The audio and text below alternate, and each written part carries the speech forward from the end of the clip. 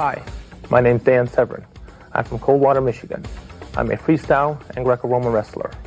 When I step into the octagon, it's a good thing there's a six-foot fence because my opponent will be trying to escape.